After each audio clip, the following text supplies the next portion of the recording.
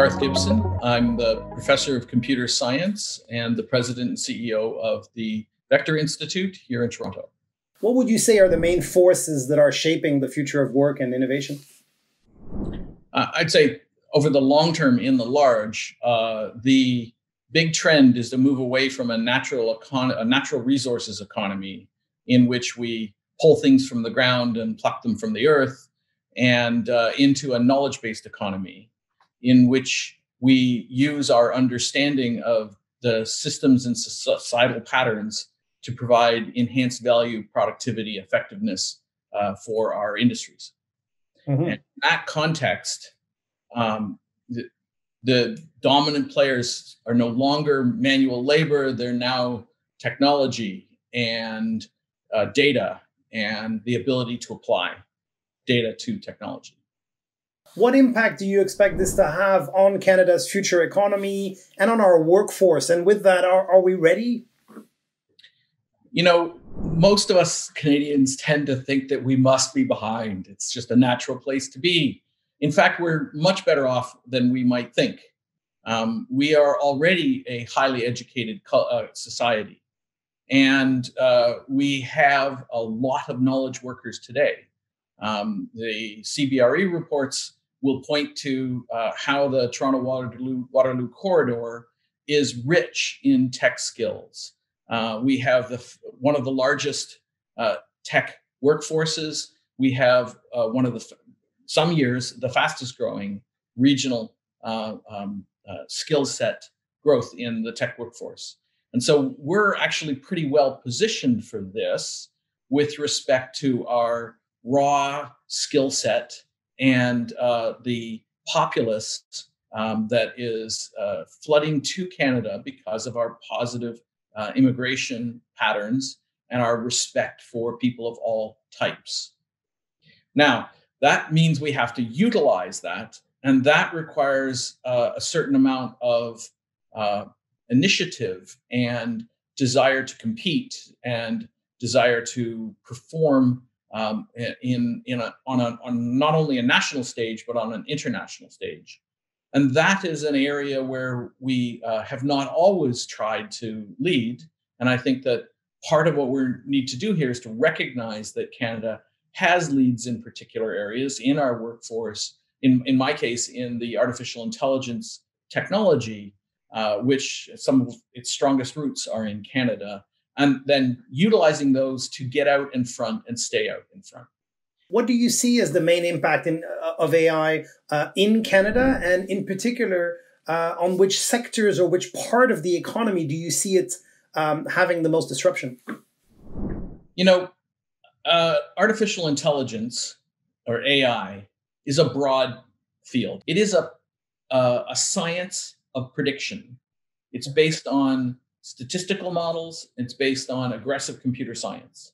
And as a result, we have tools that can, with enough training, um, enough data examples, be surprisingly precise in their predictions of information.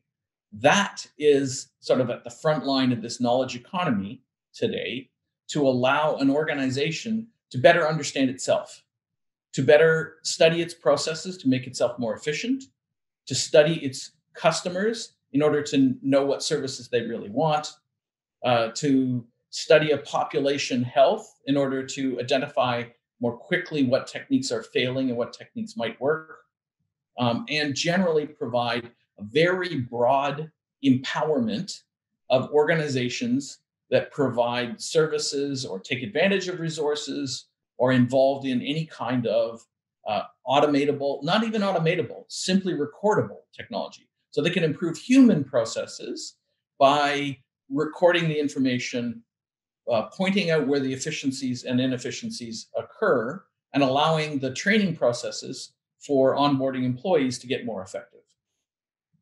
That all said, how does this affect the future of work? Well, the key thing is that the future of work is dominated by where society goes. And where society goes is dominated by its economies. And its economies are dominated by outcompeting.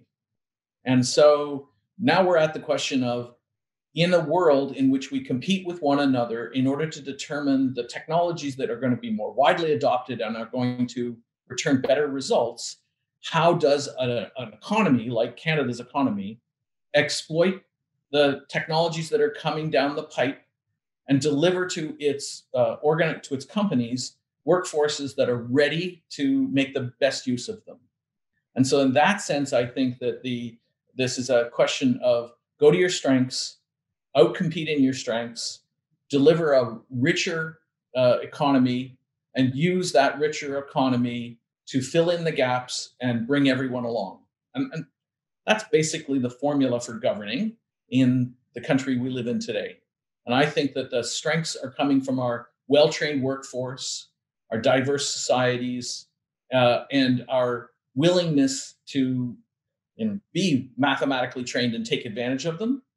Um, the places we want to double down and, and grow are in the you know financial services, in the automate and the manufacturing bases, in the um, uh, uh, precision medicine, precision agriculture, the, the ways in which we run our society. And that will allow us to compete. And then we fill in. I mean, you, you're right. The future of work, you didn't even say it, but I know you want, meant it. The future of work is frequently seen as a, um, a dog whistle to indicate some people might lose their jobs.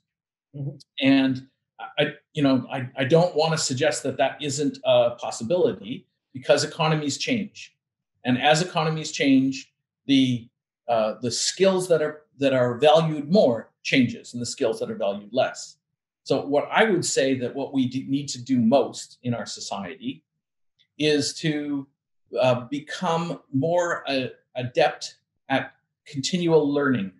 That is, continually improving our skills, not just for the few years that we are in a training program uh, around our 20 years of 20 and 21 and 22, but throughout our life, uh, finding ways that we can be learning what is changing, what, what's happening in my own industry, where are the new technologies, how can I adapt my skills to better take advantage of those technologies, how can I be part of the group of individuals that are recommending innovation, that are allowing my organization to compete. And I think that that continual learning is the main thing we want to achieve in a society that is going to be agile and competitive in a knowledge economy. What are the skills of the future economy? And in particular, if we want Canada to continue to, to, to innovate, but also to commercialize its, its innovations uh, globally, and perhaps with a focus on AI? So people frequently talk about, you know, oil is the, or data is the new oil or the new gold or whatever you want to call it. Um, but that leads people to be highly complacent to say, well, we keep records, so therefore we have gold. There are two massive problems with that. The first one is garbage in, garbage out. So if you don't keep good records, if you don't don't have a path of evaluating your own records and uh, improving what the the information content that they capture, then you don't have an asset. Um, and generally, the way I would say to people is, is that if you've recorded information and you're not using it, it's probably not useful and it's certainly not getting any better. Um, and so the, the a large number of individual are believe their, their data is massively valuable in even companies, but they don't really know how to use it. So they're going to sit on it because they're protecting its value. And I would say that in general, if you're not trying to use it, you are not um, improving its value. It may not be useful. And so the, the, there's a need to not just collect data, but actively do something with it. Uh, the second part of this is the tools to, to act on it. Uh, too many organizations, companies, treat this like uh, an opportunity to bring in a specialist for a short period of time to convert their uh, uh, asset, their data, into something that they can then just turn the crank and reliably get improved um, value out of it. And I would say that's not the correct way to view it. The correct way to view it is that your data will need continually uh, to be improved through exploration.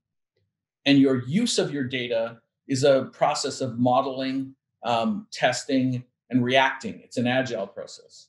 So you're going to need to be continually developing, improving your data, and continually developing and improving your use of data to, to underpin your organization.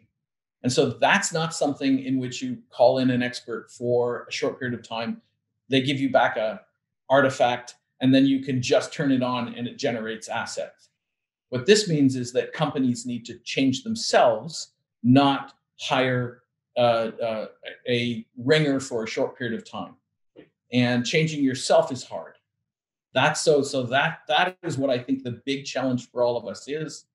How will we um, take this continual education, push it all the way through our organizations, and develop stronger skills for staying on top of technology? If you have or had 30 seconds to pitch either a person of certain influence or a group um, in Canada.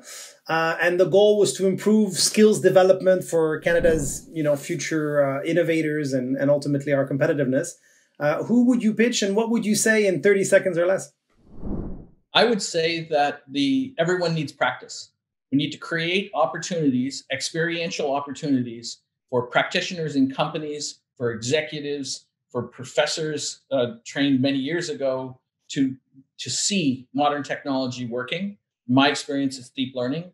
To to uh, we recently exercise uh, did a project involving uh, a dozen companies and 30 practitioners for them to experiment with the uh, modern natural language processing techniques uh, and see how a big natural language model and fine tuning can uh, give you a very powerful um, question answering tool.